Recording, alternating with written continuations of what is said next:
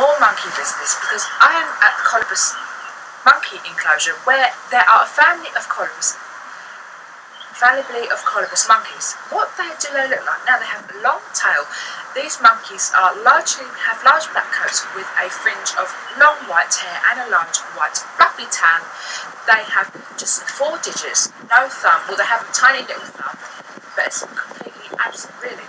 Now, for some facts about these animals, these monkeys spend most of their time in the treetops, but also do come down to the ground to feed but not as much because the females invite males to lip smack in the trees and babies are pure white for the first few weeks of their life. What do they eat? Now they eat, their diet consists of leaves, fruit and flowers and at the zoo you will see them nibbling on these carrots and just general things that their feeds in their enclosure.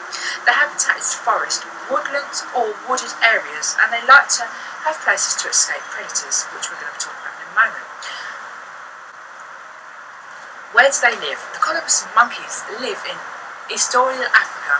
Their threats are deforestation, sadly, and being hunted by eagles, leopards, and chimpanzees. We've seen on the telly many times chimpanzees love to eat these animals, and of course, they are hunted by humans for their beautiful fur that is turned into coats, scarves, and other members of fashionable items.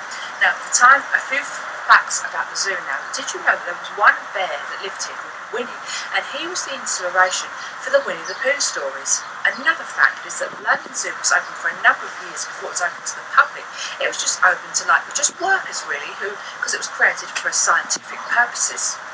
Now here at the zoo it's not just animals because there are also there's also an aquarium. It was the first ever aquarium to open UK. Inside there are have massive numbers of weird and wonderful creatures and